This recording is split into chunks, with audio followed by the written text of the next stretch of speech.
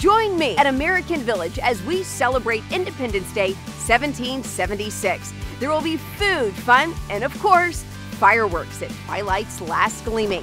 Gates will open at 11 a.m. and admission is $5. We'll see you there.